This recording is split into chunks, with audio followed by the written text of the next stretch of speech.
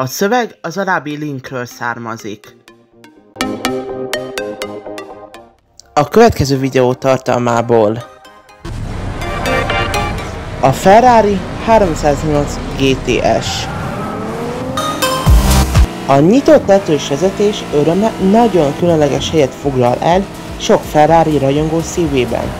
A 308 GTS-t a Pininfarinával együttműködve fejlesztették ki 1977-ben, hogy segítsen valóra váltani ezt az álmot.